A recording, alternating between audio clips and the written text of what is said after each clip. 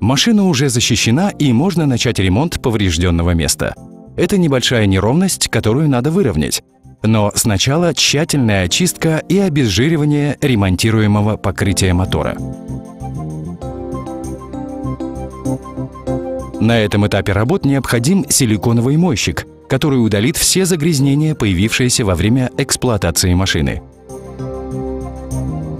Помните об использовании средств личной защиты во время всего процесса ремонта.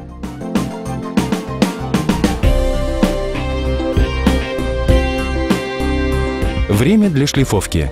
Механическая обработка производится с помощью шлифовальной машины с подключением пылесосом.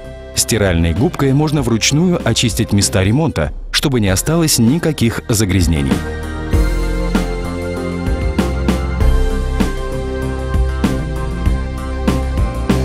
В этот момент частая ошибка бывает в том, что используется абразивная бумага со слишком большой зернистостью, так как слишком глубокие царапины повреждают лаковое покрытие и являются причиной оседания лака в местах с царапинами.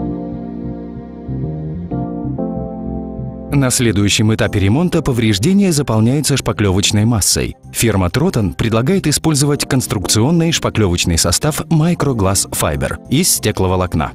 Во время смешивания шпаклевочной смеси очень важным является правильный подбор пропорций отвердителя для нее в зависимости от температуры помещения.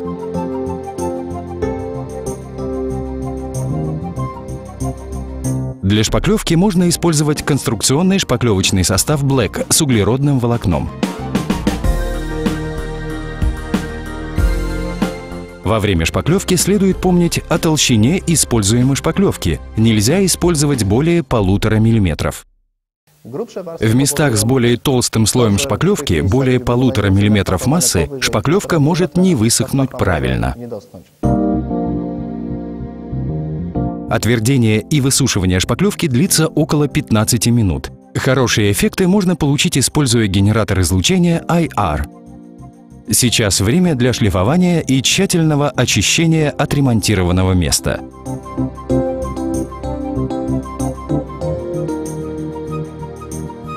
Опять используем шпаклевочный состав, на этот раз заделывающий.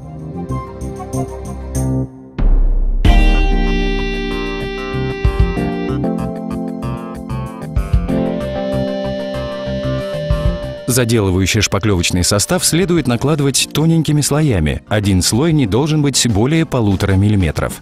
После нанесения шпаклевочного состава – сушка – около 15 минут. Дополнительная сушка с помощью генератора излучения IR, а также шлифовка и осушение сжатым воздухом ремонтируемого места.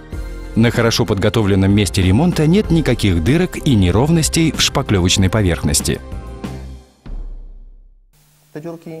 Эти дырки могут задерживать воздух, что во время сушки, например, генератором излучения IR, оставляет маленькие пузырьки, из-за которых потом будут появляться дефекты лака в виде впадин и неровностей.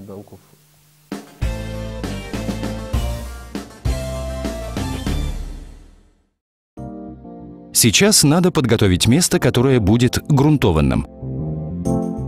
Часть кузова надо защитить реактивным грунтом и загрунтовать.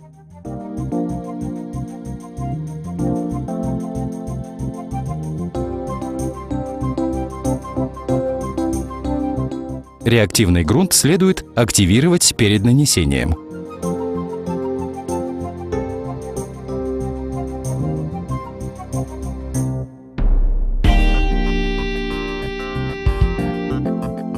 После покрытия реактивным грунтом можно начать грунтовку поверхности.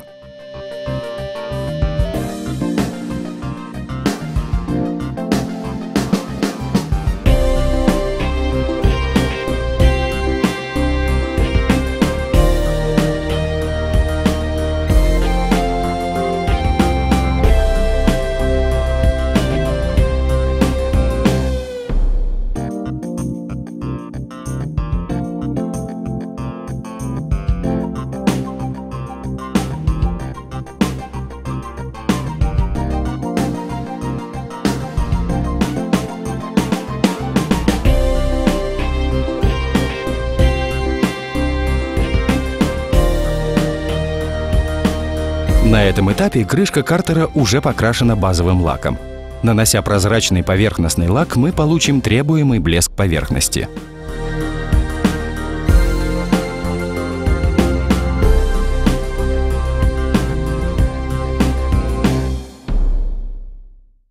Особенное внимание следует обратить на технику покрытия лаком. Рукой следует вести уверенно, на таком расстоянии, на котором рекомендует производитель пульверизатора, с таким давлением пульверизатора, которое рекомендует установить производитель.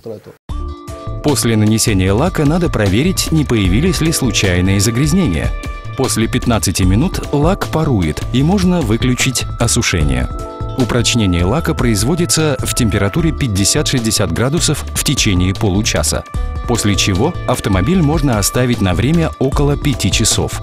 За это время лак становится твердым.